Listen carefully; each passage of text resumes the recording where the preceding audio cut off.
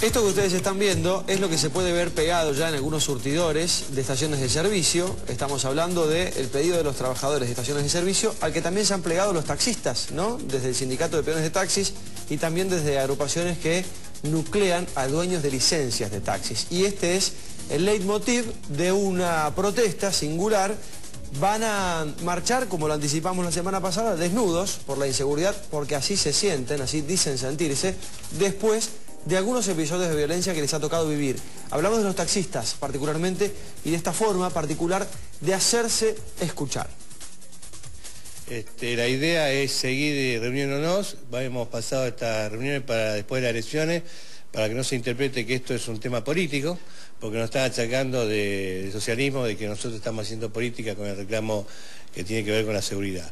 Y creo que se están equivocando, entonces para que no nos recriminen vamos a pasar para después de las elecciones y seguir con las reuniones. Por lo tanto, este, quiero aprovechar esta oportunidad para solidarizarnos con el señor gobernador que sufrió un atentado en días pasados.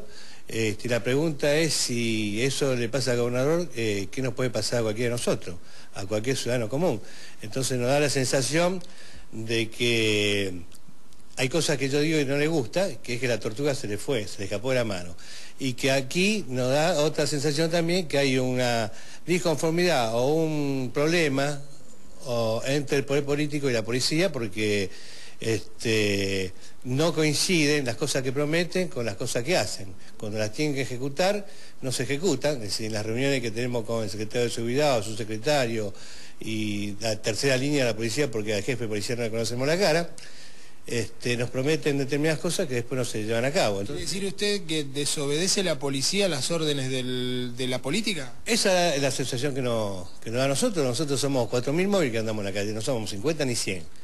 Somos 4.000 taxistas que andamos en la calle permanentemente, no vemos la presencia policial, no vemos que funcionen los correos de no vemos los controles, no veo todo lo que nos prometieron la semana pasada. Por lo tanto, la pregunta del millón, ¿cuál es? Este, ¿Acata las órdenes del poder político la policía? ¿O hay conflicto entre ellos? si uno hace una lectura de lo que usted dice...